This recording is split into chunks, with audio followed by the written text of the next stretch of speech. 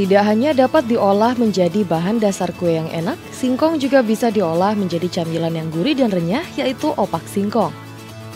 Opak singkong merupakan salah satu makanan asli Indonesia khas dari Sunda, Jawa Barat.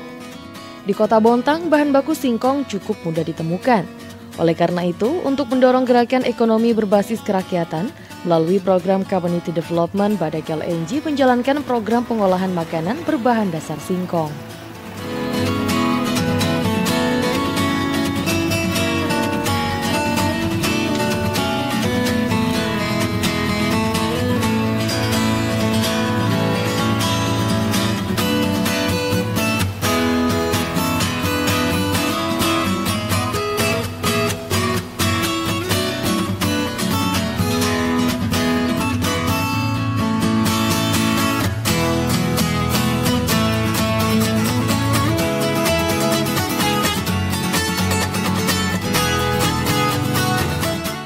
Program pengolahan makanan berbahan dasar singkong dijalankan dengan menggandeng kelompok Tunas Jaya sebagai mitra binaan.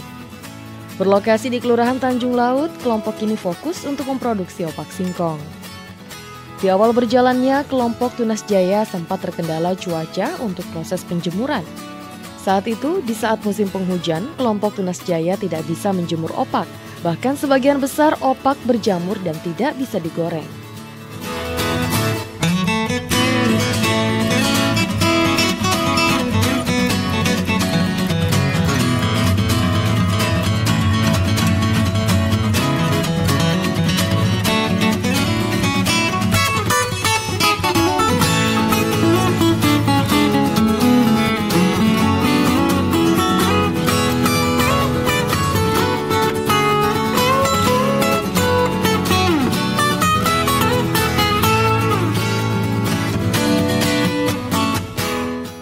Maka sebagai bentuk dukungannya di tahun 2015 Badak LNG memberikan bantuan pembangunan gedung workshop termasuk tempat penjemuran opak.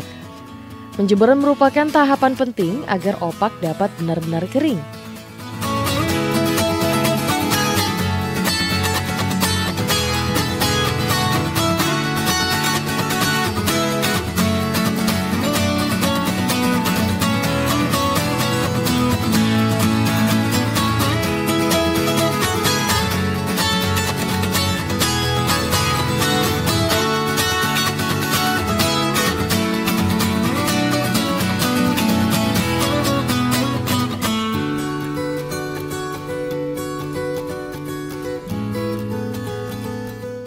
Selain bantuan pembangunan workshop, Badak LNG juga telah memberikan pelatihan manajemen kelompok, pendampingan dan bantuan pemasaran di Tojasera Badak LNG agar usaha yang dijalankan kelompok Tunas Jaya semakin berkembang.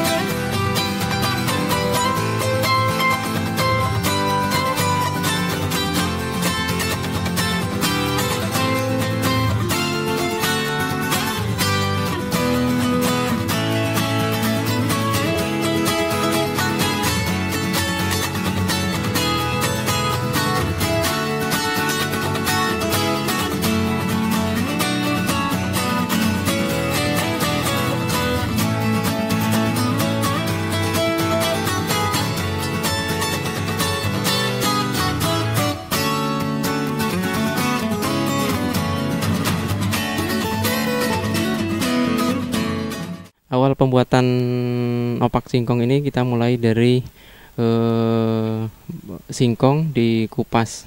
Uh, setelah dikupas uh, kita cuci. Setelah dicuci uh, diparut.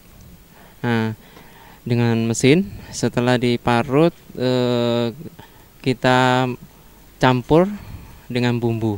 Nah, setelah dicampur dengan bumbu eh, dimasuk ke dalam proses pencetakan. Nah, dicetak.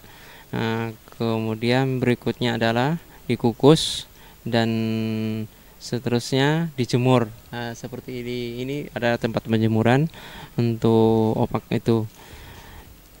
E, setelah dijemur itu di goreng setelah kering kan nah, digoreng nah, setelah digoreng itu dikemas dimasukkan dalam kemasan seperti ini yang kecil ada juga bungkusan besar. Ya ini yang original yang seperti ini original. Nah ini bungkusan kecil larinya ke warung. Yang bungkusan besar larinya ke toko. Yang manis pedas juga larinya ke toko atau koperasi. Uh, yang biasanya uh, yang bungkusan besar uh, ditimbang sebelum anu sebelum di se, uh, sebelum uh, pas uh, pas dikemas itu ditimbang itu. Ya dengan adanya bantuan yang kami diberikan ini kami sangat terbantu dan kami sangat berterima kasih sekali. Sebab ini solusi yang selama kami alami ya solusi yang ini solusi yang yang menghambat produksi kami saya sudah ini eh, istilahnya sudah keluar dari masalah gitu. Ya masalah yang kemarin tim liputan LNG TV